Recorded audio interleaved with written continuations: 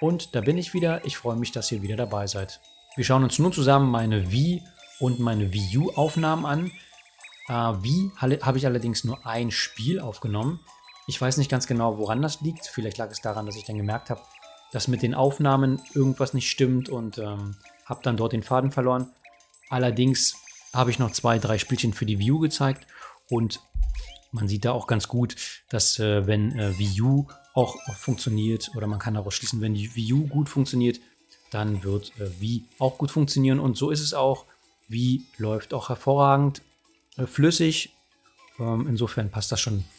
Äh, ihr seht hier jetzt Aufnahmen von der Wii U und alles, was ihr hier seht, erfordert auch leider ein paar Handgriffe. Es ist nämlich anders als bei den äh, älteren, also kleineren Systemen wie NES oder Super Nintendo, ähm, ist es eben bei den Systemen, die äh, etwas aktueller sind, wie beispielsweise eben ähm, Wii U oder auch Switch, äh, so, dass man sich, dass man, dass es nicht einfach hat, indem man einfach nur seine Spiele in die entsprechenden Ordner schiebt und das dann alles funktioniert und läuft, sondern dass man schon sich auch mit dem Thema ähm, Shader beschäftigen muss. Das heißt, es sind äh, Spieldateien, die während des Spielens erstellt werden, äh, was dann später beim Neustart äh, genutzt wird, dass die Spiele dann flüssiger laufen. Also da werden quasi Grafikshader beim Spielen abgespeichert und später wieder aufgerufen.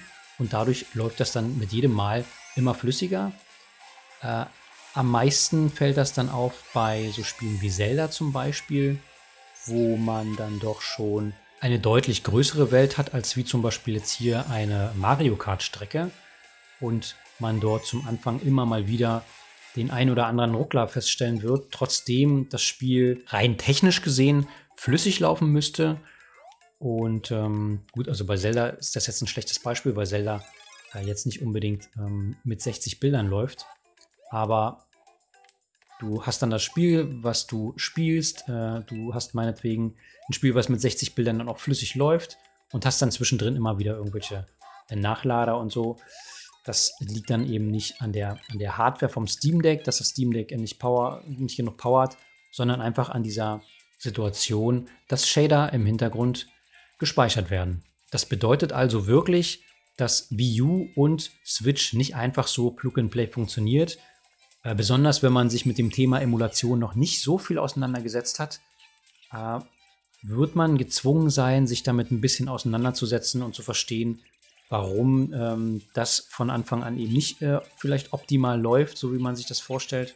Und eben die ein oder andere Stunde im Desktop-Modus von SteamOS sein wird. Was noch dazu kommt, ist, dass man ähm, nicht einfach wie zum Beispiel bei, bei der Wii oder bei der N64 die Spiele eben in den entsprechenden Ordner schiebt und ähm, dann läuft das. Man stellt dann vielleicht noch die Auflösung ein und so. Sondern ein äh, anderer Punkt kommt, kommt noch dazu bei der Wii U und bei der Switch, dass Spiele ja auch Updates bekommen. Das ist ja heutzutage normal, dass Spiele geupdatet werden. Und das hat man tatsächlich auch bei so einem Emulator zu tun, wenn man möchte, dass die Spiele ordentlich laufen.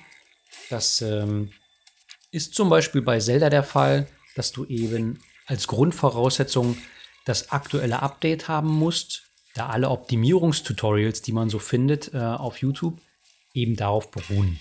Das alles bedeutet also leider, dass man sich als Einsteiger oder auch ähm, Anfänger mit Sachen beschäftigen muss, gezwungenermaßen so ein bisschen, die eben mit ein bisschen Arbeit verbunden sind. Vermutlich wird auch der ein oder andere jetzt sich denken, na gut, okay, das sind dann vielleicht Systeme, die ich mir auf dem Steam Deck dann spare und dann lieber doch meine Switch raushole und da zocke. Wenn es noch irgendwelche wichtigen Sachen gibt zum Thema Wii oder Wii U, die ich jetzt vergessen habe, was äh, das Thema Emulation angeht, die ich jetzt ähm, außen vor gelassen habe, schreibt es mir ruhig in die Kommentare. Ich bin äh, kritikfähig und äh, versuche das beim nächsten Mal natürlich dann entsprechend besser ähm, zu erklären. Vielen Dank, dass ihr bis zum Ende dabei wart. Wenn euch das Video gefällt, liked es gerne, abonniert auch gerne meinen Kanal und äh, wir sehen uns beim nächsten Mal. Ciao, ciao.